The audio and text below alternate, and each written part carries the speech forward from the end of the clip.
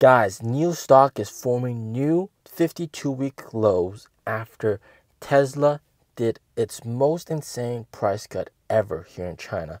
Li Auto is also doing massive price cuts. Their stock, Li Auto stock, is down 7% pre market today as of recording this video. What the hell is going on, and why is NIO so reluctant to do price cuts to boost demand and sales? I'm going to be explaining everything in this video. Is there still hope for investors? What can we look forward to? So, what happened? Back in March, Tesla announced that in April they will be increasing the prices of their Model Y by 5,000 RMB, which is roughly about 800 US dollars. Of course, that was to spur demand and sales back in March. But here in April, they did the price increase and sales have suffered greatly. In April, people are just not buying their cars.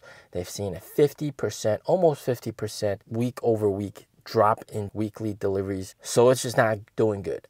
So just today, they announced a 14,000 RMB, roughly 2,000 US dollar price cut to all their vehicle models. And that's bringing their cars to the lowest, cheapest price ever here in China. All right. So buying a Model Y right now is the cheapest it has ever been. Okay.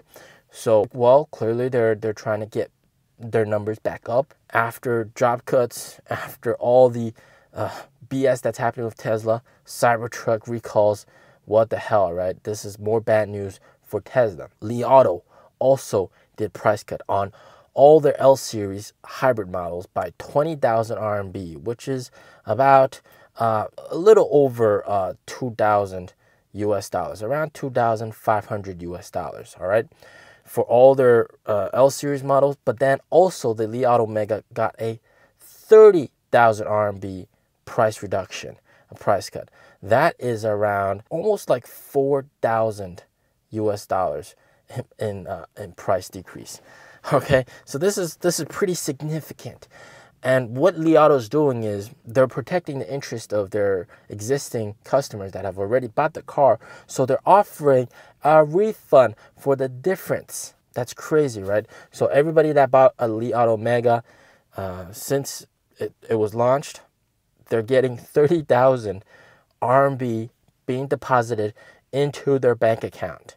And that's crazy. That's crazy. That's uh, well, oh, some other companies have also done that. Aito, they've done that as well. But yeah, you can see how insane things are. What about NIO? Well, NIO has always said that they will not do price cuts. NIO CEO is very adamant about that. He said it will never happen. We want to protect the interest of our owners.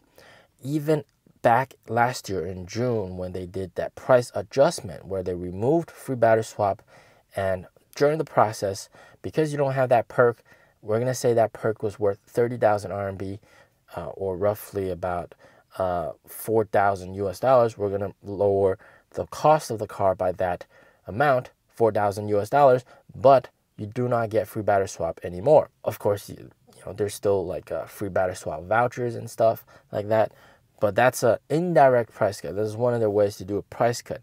But even that got a lot of backlash because the starting prices decreased. You know, secondhand sale prices, you know, of course, is going to drop as well. Uh, it doesn't matter if you're providing free battery swap or not, no perk or yes perk. The secondhand prices have dropped, and that also pissed off quite a few NIO owners as well. But that's understandable. But NIO CEO seems to be always adamant that we should not piss off our existing customers because they are the bloodline for NIO because over 70% of NIO sales are from recommendations. All right. So if you piss off the people recommending your car, they're less likely to recommend the car.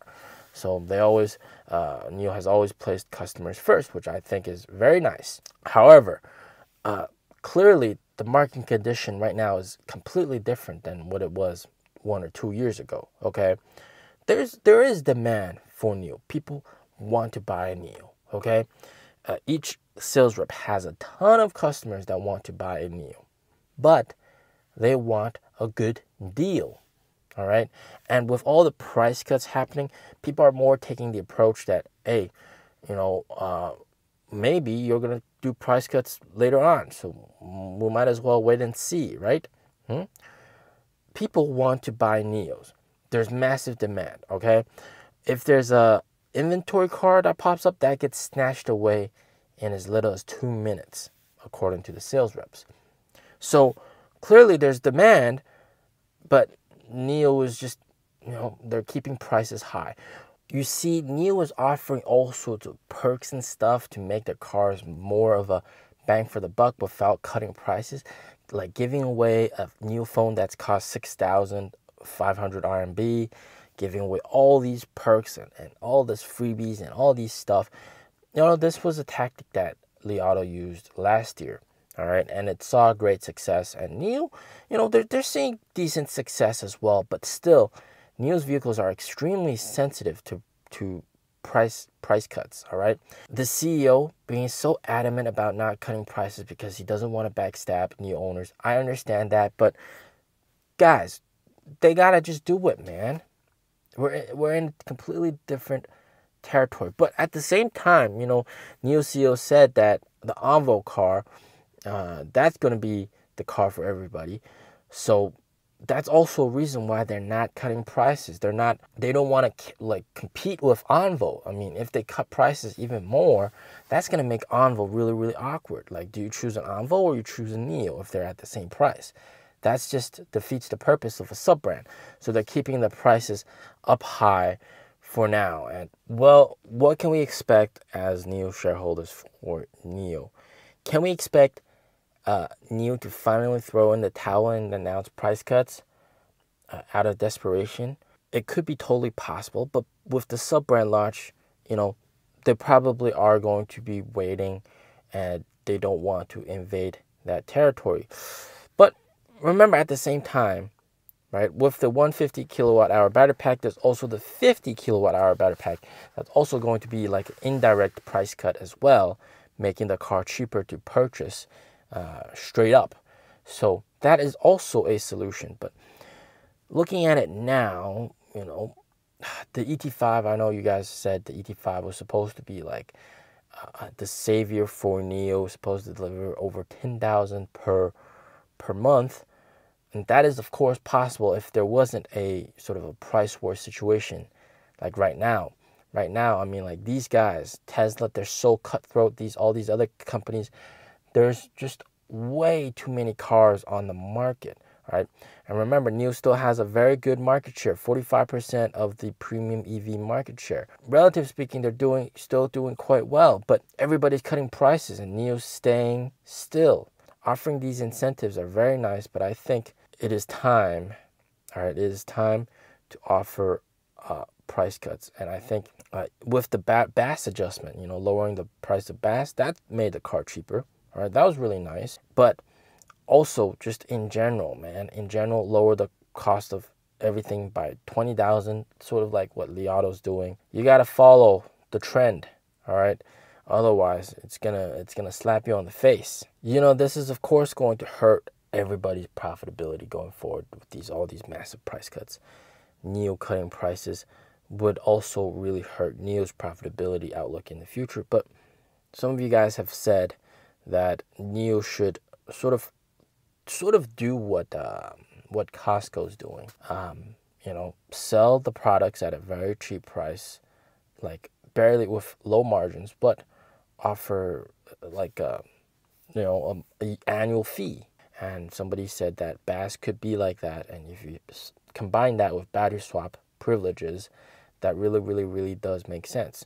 So they could also be looking to that, but really everything hinders on the sub brand right now. Okay, everything hinders on the sub brand right now. The price cuts, man, this is just absolutely crazy. Absolutely crazy. It's it might get even crazier. All right, it might get even crazier. It never really makes sense for Tesla Model Y, which is quite an old car by now. All right, it's been around for five years to still be selling that well, but it's all supported by the imagery of you know, Tesla being a very fantastic company and American luxurious company. It's got that image, but in reality, is it actually? All right.